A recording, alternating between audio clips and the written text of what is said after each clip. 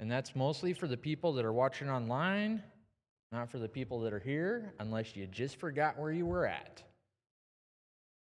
Like Ernie. Ernie sometimes forgets. Just kidding.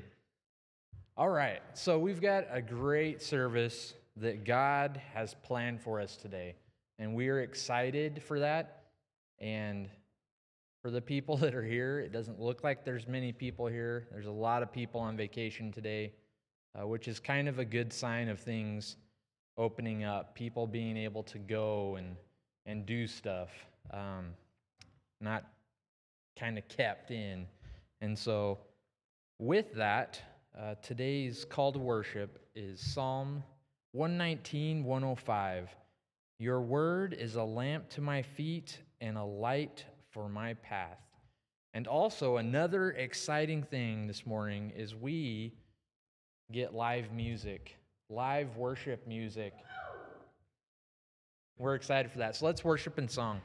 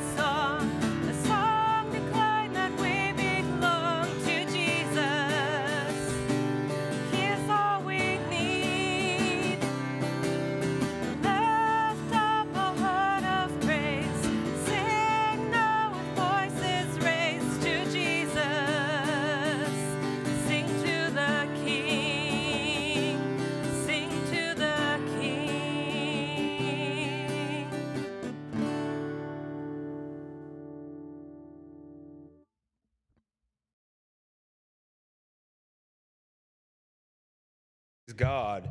So, our announcements today. Um, so, if you have anything you need to communicate to the church staff, um, just send a text to one of us or uh, Facebook message us. Um, then the communication cards. If you're new, uh, just fill out these communication cards. Um, if you have any prayer requests, just write them on the back and send them into us. Um, and then offerings as well. So for those of you here, we have the offering plates in the back. If you just want to put, place your offering there, or you can send it in to us by mail. Um, on the 18th of this month, we're going to Roaring Springs. We're meeting at 5:45 p.m. The cost is about $22. Bring a Coke can, and then you get $5 off. Let's go ahead and pray for our offerings. Dear precious Heavenly Father, we just thank you so much for the tithes and offerings that our congregation just gives to you. And I just pray that you bless them, Father God. Just bless those that keep on giving and just keep our church strong. In Jesus' name I pray. Amen.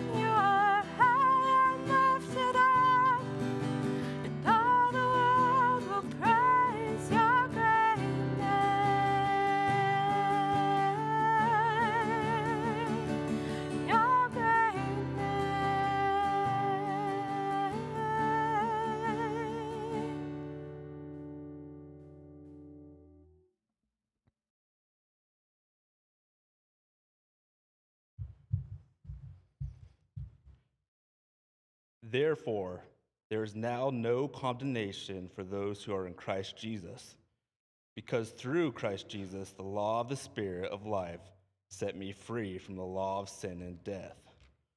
For what the law was powerless to do, and that was and that it was weakened by the sinful nature.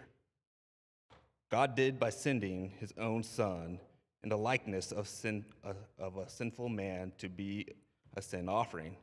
And so he condemned sin in a sinful man in order that the righteous requirements of the law might be fully met in us who do not live according to the sinful nature, by according to the Spirit. Those who live according to the sinful nature have the mind set on what the nature desires, but those who live in accordance with the Spirit have their mind set on what the Spirit desires. The mind of the sinful man is death, but the, not, but the mind of the controlled by the Spirit is life and peace. The sinful mind is hostile to God. It does not submit to God's law, nor can it do so. Those controlled by the sinful nature cannot please God. You, however, are controlled not by sinful nature, but by the Spirit. If the Spirit of God lives in you, and in anyone that does not have the Spirit of Christ, he does not belong to Christ. But if Christ is in you, your body is dead because of the sin Yet your spirit is alive because of righteousness. And the spirit of him who raised Jesus from the dead is living in you. He who raised Christ from the dead will also give life to your mortal bodies through his spirit who lives in you. The word of the Lord.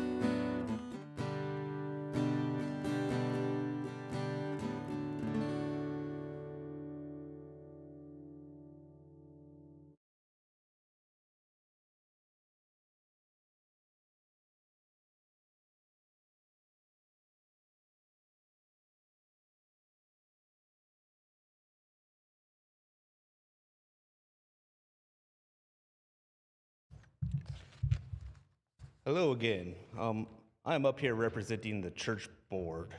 So this past Tuesday, I have what I feel was one of the most blessed board meetings that we have had.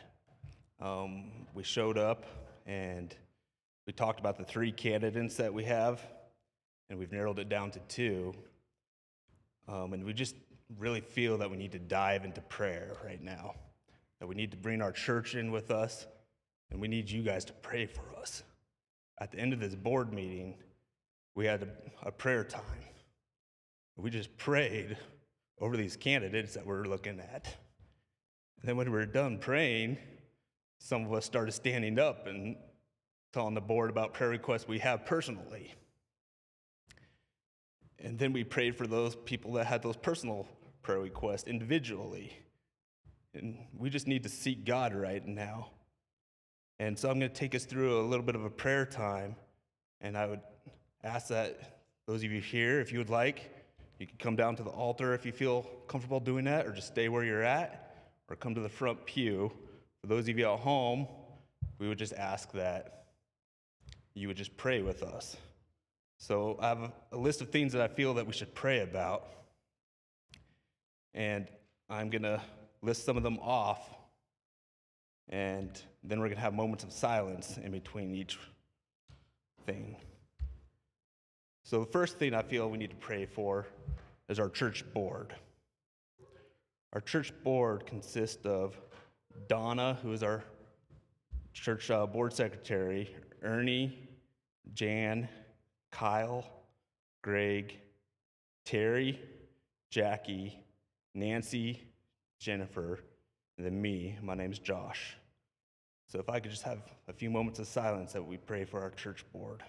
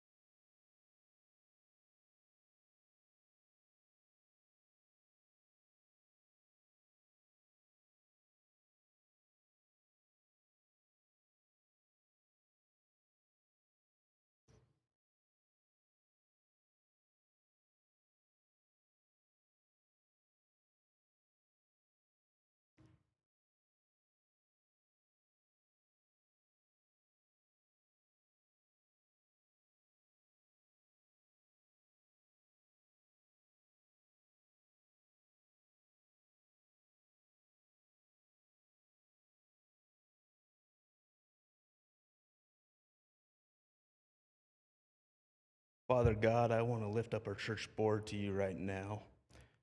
I want to lift up Donna as she is our church board secretary, and she's the one that gets all the meetings organized and all the candidates ready to talk to us. Father God, I just pray that you would lift her, Father God, just lift her up.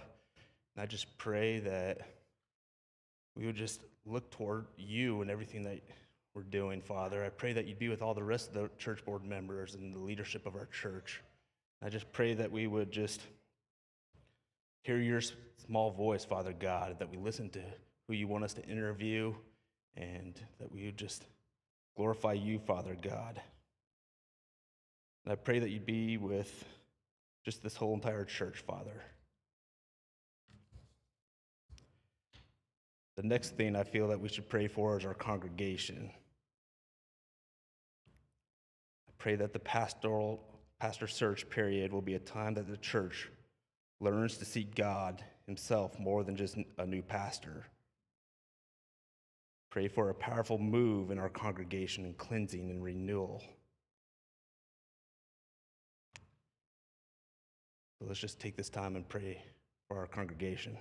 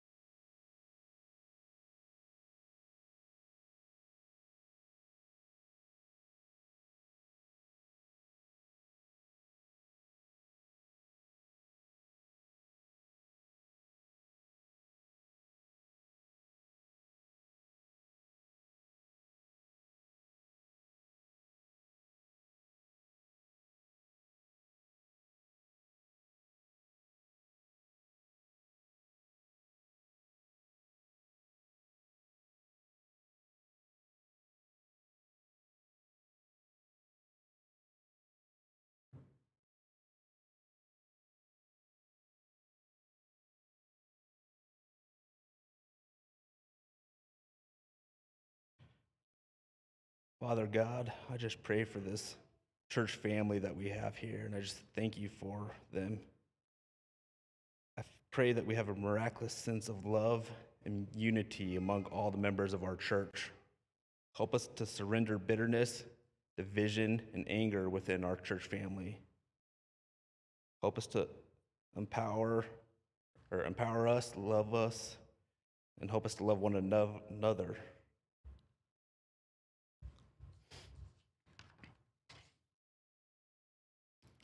The next thing I feel that we should pray for is our current leadership. We have Pastor Gretchen, Pastor Josh, and Kendall and Talitha. And I also think we should pray for Pastor Mark and Vanessa. Just pray that we just seek God through this time and that we just know that they're going to lead mm. us to the best of their abilities. Let's have some moments of silence.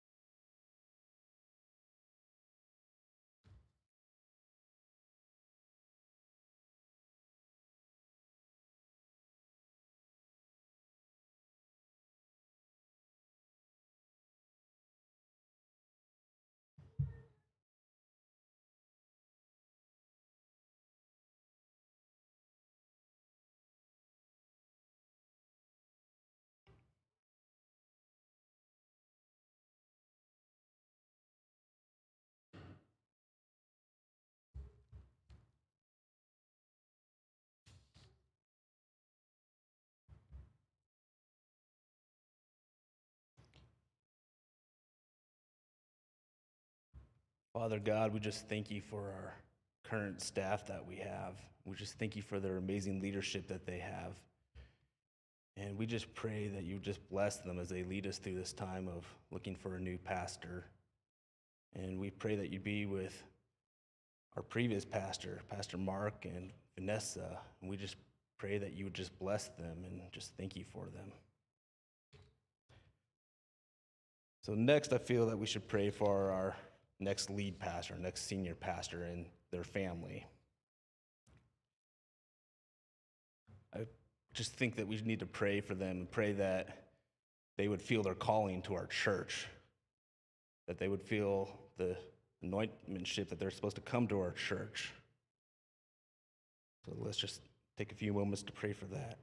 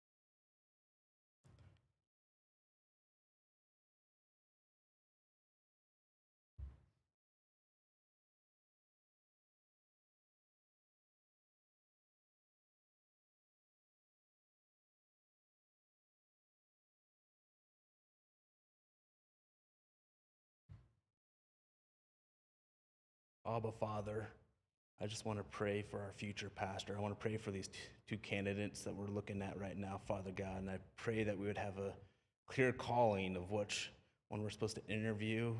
And I just pray that you'd be with their families, Father, that their families would feel called to be at our church with their family member. And I just thank you, Father God, for this person and what this person's going to do for our church. And I just pray that they have a clear calling to come to our church. I just pray that you would just bless our church, and we just thank you so, so much for everything you've done for us and everything you're going to do for us. It's in Jesus' name we pray. Amen. And that is what I had for our prayer time. This time, we're going to ask Pat to come up. And in the spirit of prayer, I feel that I should pray for him when he comes up for the message that God's given him.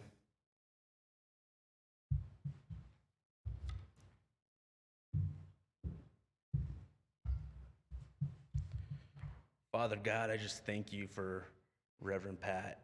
I just pray that you'd be with him as he gives your message, Father. We just thank you for his willingness to come and just lead us and just giving your word. And we just pray that you bless him and just give him the strength just to give your word the way you want it, Father God. We just love you and we just thank you for this man of God. And we just pray that you bless him. In Jesus' name we pray. Amen. Amen. Thank you.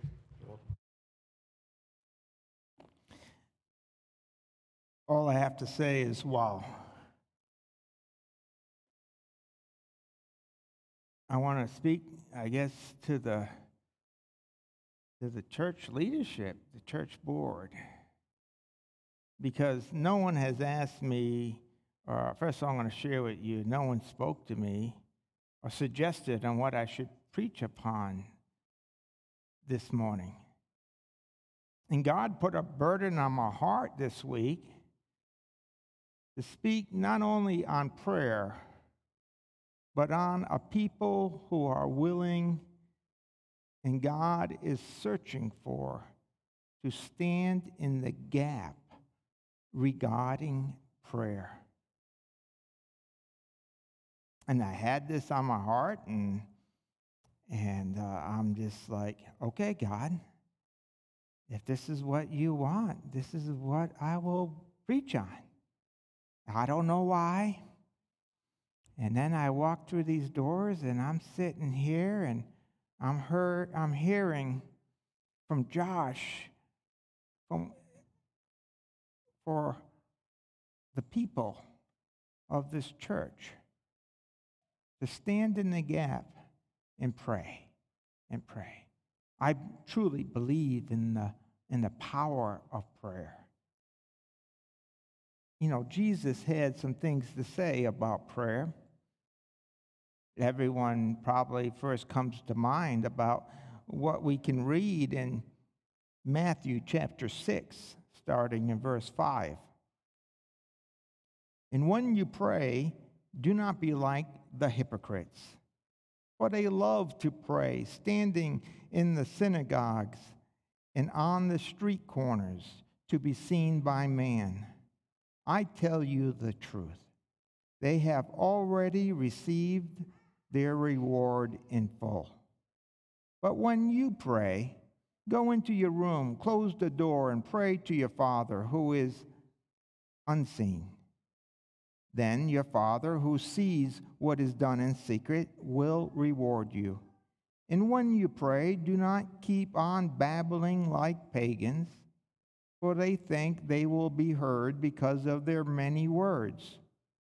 Do not be like them, for your Father knows what you need before you ask Him. This, then, is how you should pray Our Father in heaven, hallowed be your name. Your kingdom come, your will be done on earth as it is in heaven. Give us today our daily bread. Forgive us our debts, as we also have forgiven our debtors. And lead us not into temptation, but deliver us from the evil one. Or if you forgive men when they sin against you, your heavenly Father will also forgive you. But if you do not forgive men their sins, your Father will not forgive your sins.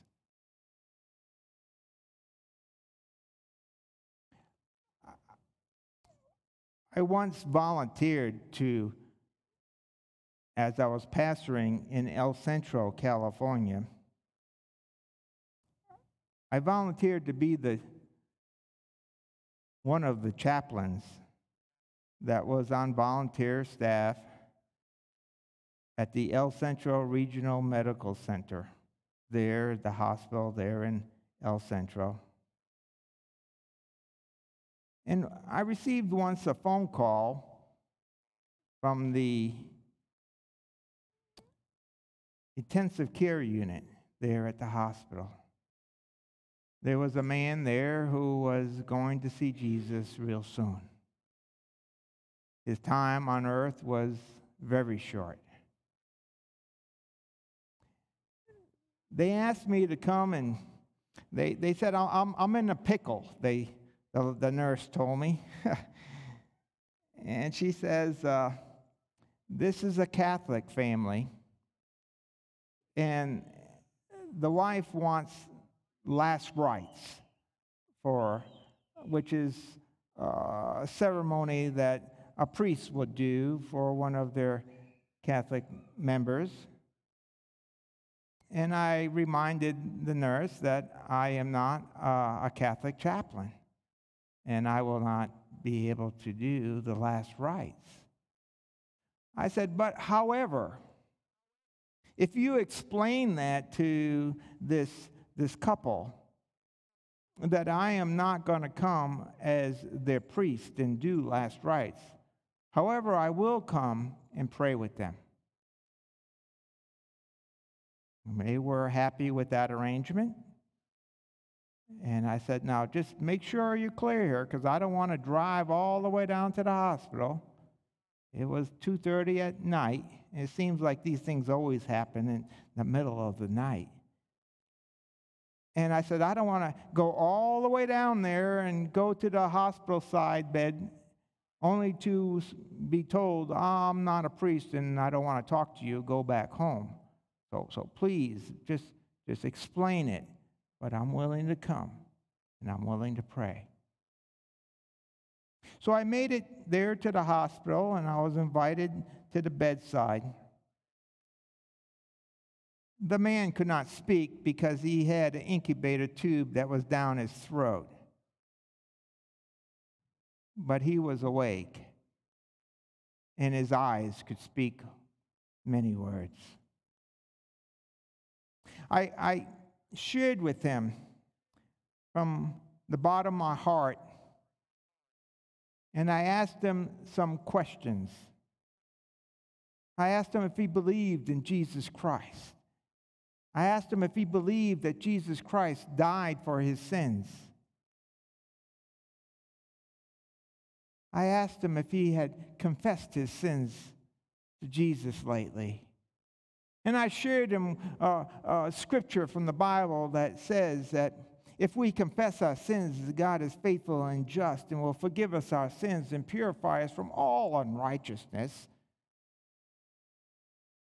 And I showed him in Scripture where this was in 1 John 1 9.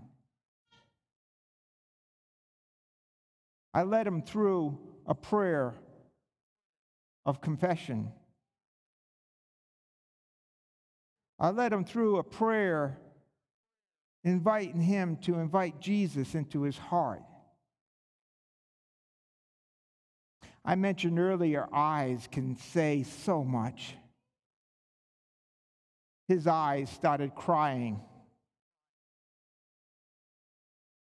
I shared with them and I asked them, I said, Did you pray and ask Jesus into your heart? He nodded, Yes. I asked him if he asked Jesus to confess in, in his confession, if, if he believed that Jesus forgave him his sins. He nodded yes.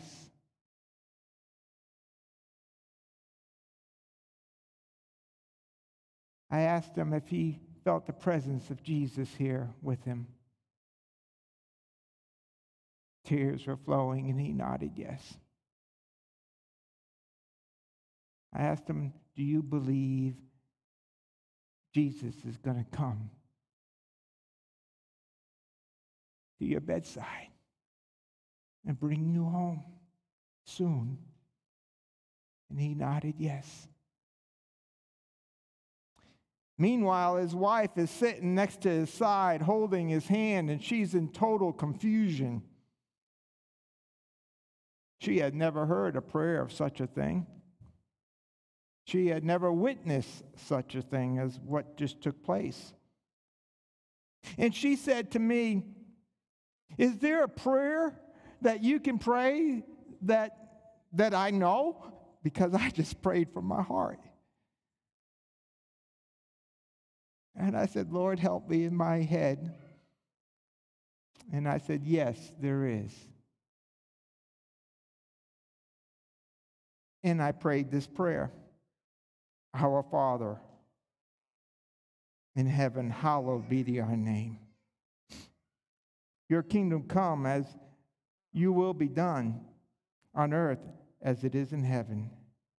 Give us today our daily bread. Forgive us our debts as we also have forgiven our, our debtors. And lead us not into temptation, but deliver us from the evil one. It's going to make me cry now. It's not the coronavirus. It's, it's sniffling because God touched my heart as He brought this, this memory to my heart.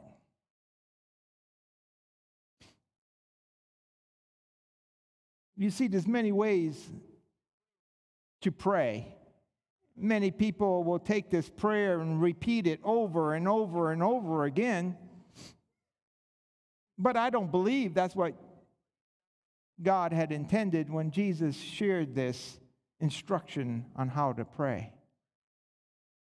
I believe Jesus just wanted to connect and teach us how to connect from our hearts to his heart and speak freely and, and come to Him with our, our needs, our desires, our pain, and our suffering that we find ourselves in throughout the day and throughout the weeks and throughout the seasons of life. We can read something here in, in Luke. Let me turn to Luke chapter 18, verses 1 through 8.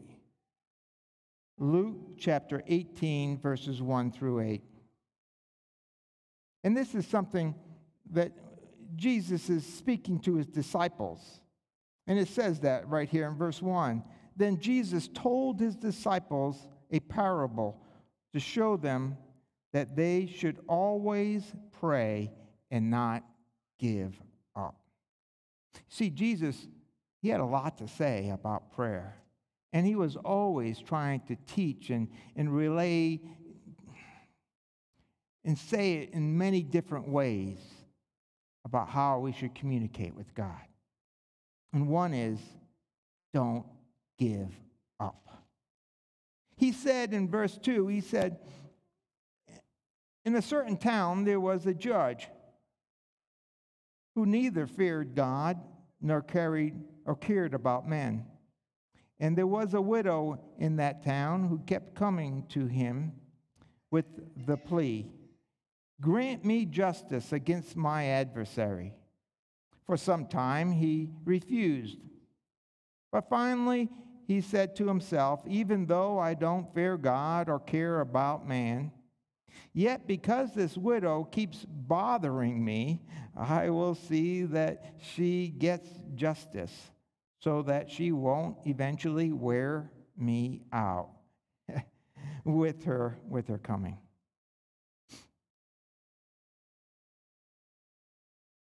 And the Lord said, Listen to what the unjust judge says. And will not God bring about justice for his chosen ones who cry out to him day and night? Will he keep putting them off? I tell you, he will see that they get justice and quickly. However, when the Son of Man comes, will he find faith on the earth?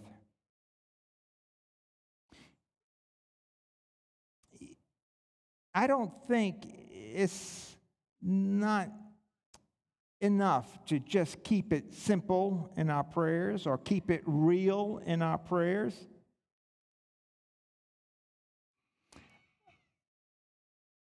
I believe what, what Jesus is crying out for is, is for us to enter into a friendship, a trusting friendship with Jesus. If you look at my Facebook phrase, I don't know what it's up to. I, I know it's over, I have over 600 friends, and I'm not boasting about that or that I really care. But, but if you go on Facebook, and some people will say, oh, you got X amount of friends on Facebook, you must be popular. I will tell you today that I can count my true friends. Not that anyone, if anyone's here, I'm not here to offend anyone that might be a Facebook friend of mine. I'm not saying that your potential is not to become a true friend, but I can count true friends on one hand on one hand that I have. You know what I'm talking about, true friends? I'm talking about those people that you can open up and you have utmost trust in. That you can open up and pour out your heart. And they're there to listen to you, not necessarily to give you advice or tell you what's best for you or tell you what God told them to tell you. How many love that one? No, they're just there, listening, caring, loving.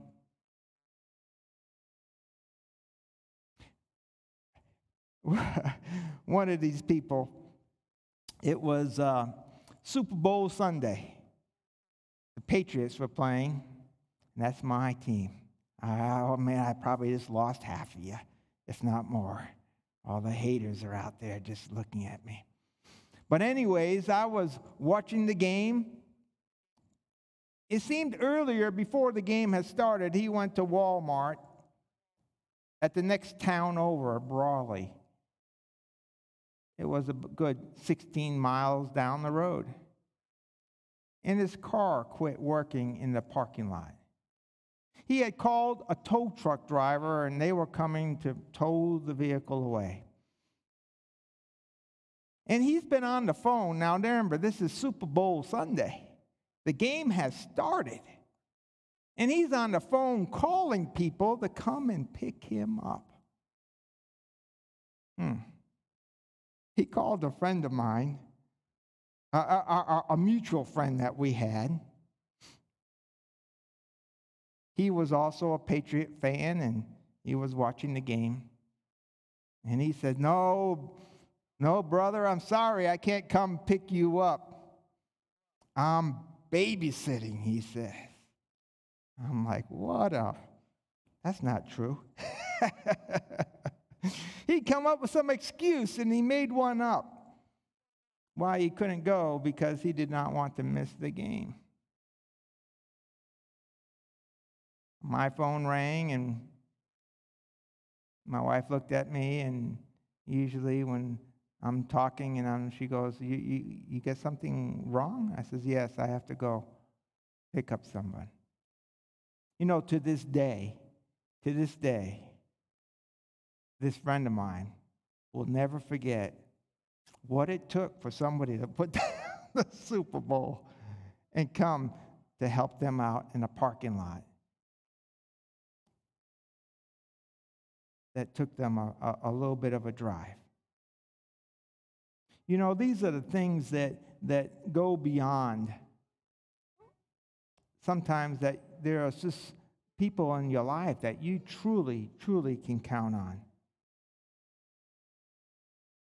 My friends, Jesus is one of those people. We must always pray, he says, and not give up. You know, a lot of time enthusiasm about praying about a certain thing, a certain subject, a certain need, it fades. We may pray the same thing we prayed a hundred times before suddenly the, the breakthrough happens and the miracle happens. And we're grateful that, that we did not stop praying about this. I mentioned before there was one thing in particular about my life that I recall praying probably hundreds of times about. And that was when I had my earlier walk as a Christian, God had convicted me, not so much the Nazarene church, which frowns upon smoking cigarettes, but that was an issue in my life. And I recall people giving testimonies of how they came to the altar and they put down their cigarettes and they left them there at the altar and God gave them the freedom and, and they walked out of the church and never smoked again. I tried that once and I left my cigarettes there at the altar. Not that, I mean, if you have cigarettes here in your pocket and you want to leave them at the altar and God's calling you to do that, do it. I went home I went back to my, my room in the dormitory there at the Navy base and I broke my cigarettes and I threw them in the trash. I woke up 2 o'clock in the morning with scotch tape, taping them back together and smoking them.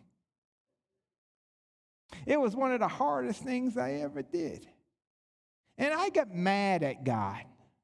Have you ever got mad at God? I got mad at God. I said, God, this is, I guess you don't want me to be a Nazarene. You know, this is this is on you now. Don't give me no guilt about smoking. Don't I don't want to hear it. You know, I gave it to you. I, I prayed about it. I prayed about it. I prayed about it. And I want a cigarette right now because I'm upset. Matter of fact, I walked away from the Nazarene church and I went to the smoking church. I went, I went to this Baptist church where you can go out into the, not, I mean, my Baptist brothers and sisters that maybe come from Baptist backgrounds, I love you. I believe there's a place in heaven for you. It's just in the smoking section. and, and, and I could smoke in the parking lot with my, my, my Christian brothers and sisters, and I was free. I recall being in that parking lot smoking a cigarette, and as if I was speaking today, I heard the voice of God in my heart. And it was, Is this the answer? See, sometimes we, we, I believe that you do not receive the answer in prayer that you're seeking in the easy way. I think it's something that God's trying to deal in your life and bring something out in your life that He wants to deal with that really isn't about what you're praying about. And I'm like, God, don't you start on me. Don't you start on me with this guilt trip now that I'm, hey man, I, am with, I'm with the Baptist brothers and we can smoke here. And he says, No, it's not about that. God spoke these words to my heart. Do you love me more than this? And I said, Yes. And God spoke to my heart and said, Show me. Show me. I'm nothing like a dare. How dare you dare me? I'll show you. And I showed God. I said, I'm not going to smoke because I love you. And when the desire for a cigarette came, I said, God, do you see this? I love you more than this. And you know what happened then? A miracle happened. God lifted the desire and the need for cigarettes out of my life. You see, the issue was there was an idol in my life. And the most important thing in my life was to meet a nicotine need I had in my life. It was, God was not wanted that space. He wanted that number one spot in my life, the one, number one need in my life. And he wanted me to surrender it to him. It would have been easy. God could have just wiped it off at the altar. But there still would have been something else that was putting God in a back corner in my life. And God wanted to address the issue of who was number one in my life. But we pray, and we pray, and we don't give up. Sometimes this causes things like anxiety in our lives. There have been times that I've been very anxious about issues I've been praying about. And we can read in, in Philippians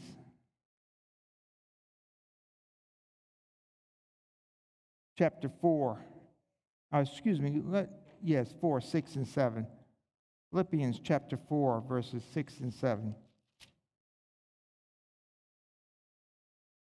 This is the scripture that says, Do not be anxious about anything. And we all might stop there and say, Yeah, that's easier said than done, isn't it? Do not be anxious about anything, but in everything, by prayer and petition, with thanksgiving, present your requests to God. And the peace of God, which transcends all understanding, will guard your hearts and your minds in Christ Jesus. But there's something bigger here going on. What really stills the anxiety in my heart is often that God is teaching me that I have to learn to be content. Sometimes the answer is no to prayer. And that can cause anxiety in my heart. What do you mean, no? Paul writes as he continues on in, this, in these verses here in this same chapter. If you go down to, uh, I'll start in verse 11. I am not saying this because I'm in need, for I have learned, and I, I have learned. This is a process. For I have learned to be content, whatever the circumstances. I know what it is to be in need, and I know what it is to have plenty. I have learned the secret of being content in any and every situation, whether well fed or hungry, whether living in plenty or in want. And this is a, a, a verse that, that many people cling to, and, and I hear quoted quite often I can do everything through him who gives me strength. But what God is giving you strength for, and that God is giving you the ability to do everything for, is to be content. Surrendering the circumstances in life to to Jesus and staying focused on asking, What is it, dear Lord, that you want me to do? And I will be continually doing it. Today is uh, my daughter's birthday, and I have a present for her out in the car. I hope, I hope she, she likes the present that I I, I have for her. In Matthew 7 11, we can read something about how Jesus explains how God knows how to give the good gift. Let me turn to Matthew here. Matthew, excuse me, did I say? I have here.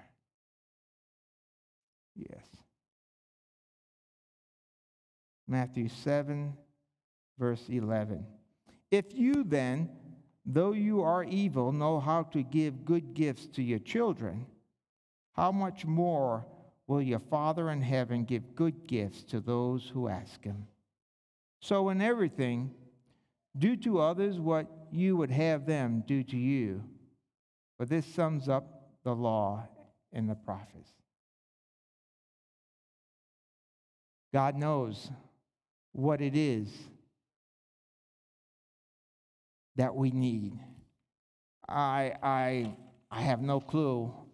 My daughter is one of these people that's, that's hard to get things for because she just gets whatever she wants. And uh, she has her, her usually is by time I, I find out that what she wants, she's already ordered it or went to the store and, and purchased it. So I'm hoping when I was in the store and I saw something, that was not something that she already has because I'll be disappointed.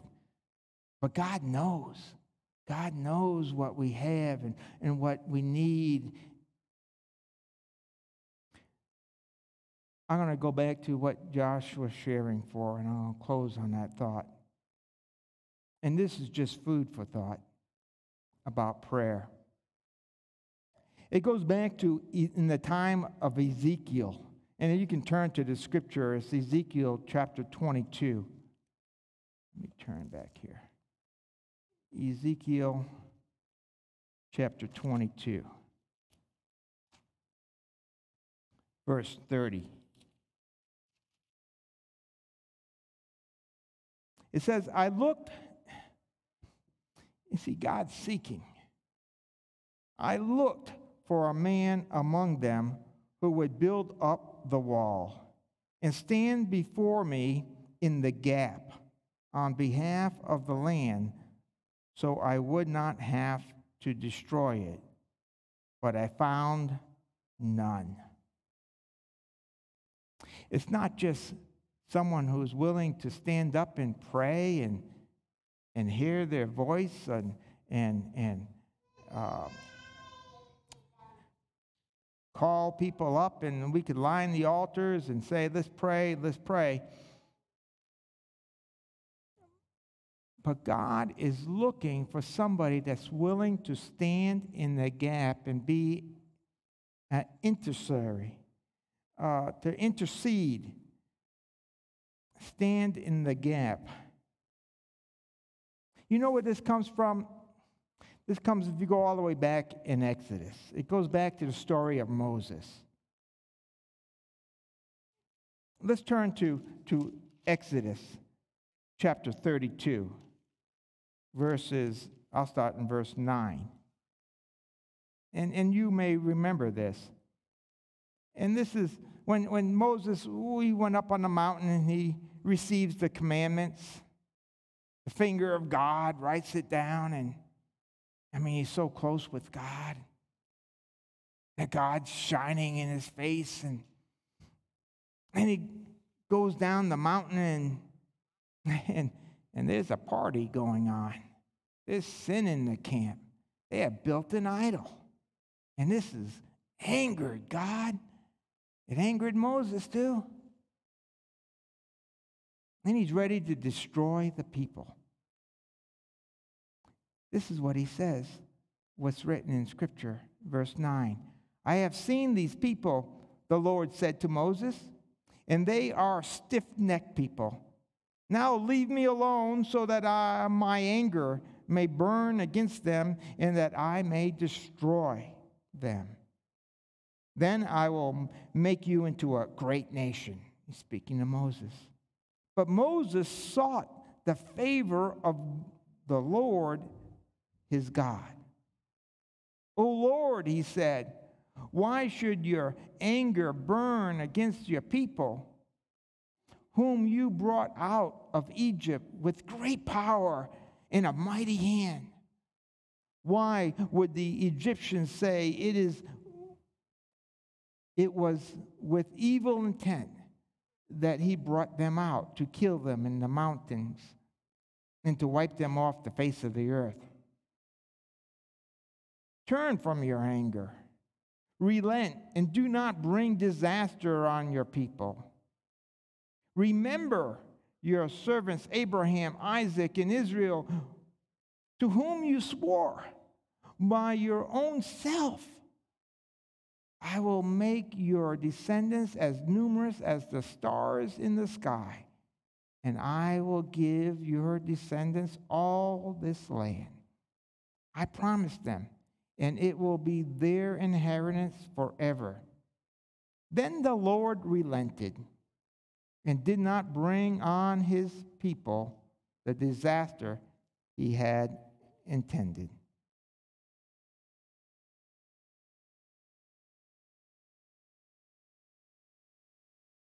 Are there people willing to stand in the gap? Are there people who are willing to plead with God to do what is right and what is blessed amongst this church, amongst this community?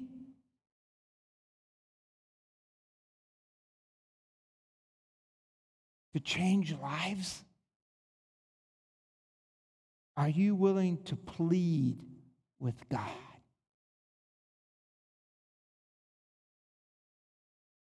Not point out all the faults, not trying to fix anything. Just say, God, please, please pour out your grace and love. Are you willing to stand in the gap and plead with people and say, This is what God wants in our community? This is what God wants in your life. This is what God teaches in His Word. I believe that God put this message on the board's heart to share. I believe that God put it on my heart, this message to share. Yeah, I love it when, when God puts things together and I see God weaving things together at this time. And this is not me. This is not the board asking me to preach on this subject. This is the Spirit of God moving here amongst you. This is the message God wants.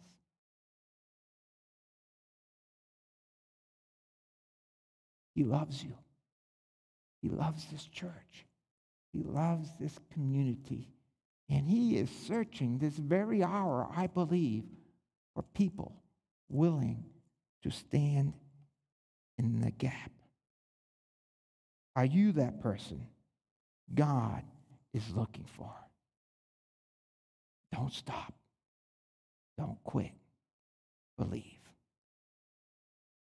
What a wonderful God we serve. Let's close in a word of prayer. I thank you, Lord Jesus, for this time. I thank you, Lord Jesus, for what you are doing amongst these people. I thank you for the leadership in this church. I thank you, dear Lord Jesus, the way your spirit spoke to me this week. And I can see how, to this morning, how I can connect the dots. And what a wonderful thing it is to see your, your spirit move in action. Dear Lord, there are many, many things that are, are, are moving here, the, but I believe you can work in the hearts of the right person that you are calling, that they will feel the call and the passion and the desire. And give that, that family that, that the minister dear lord jesus that is that you have chosen. Give a warming in the hearts of the board a reassurance to them as they move forward. May it be clear as day dear lord jesus to them for with man, these are difficult decisions. But, dear Lord Jesus, as we pour out our hearts to you, open their hearts. Let them recognize your desire. Hold them up, dear Lord. We hold them up to you. In Jesus' name, amen. I like to close in reading this verse that speaks to my heart in Ephesians chapter 3, starting in verse 20. Now, to him who is able to do immeasurably more than all we ask or imagine, according to his power that is at work within us. To him be the glory in the church and in Christ Jesus throughout all generations, forever and ever. Amen.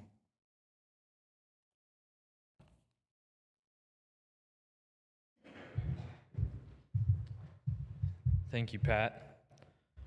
And as we close the service and as we leave, you go nowhere by accident, and wherever you go, God has put you there.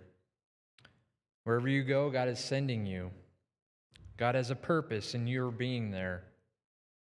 Christ lives in you and has something he wants to do through you where you are.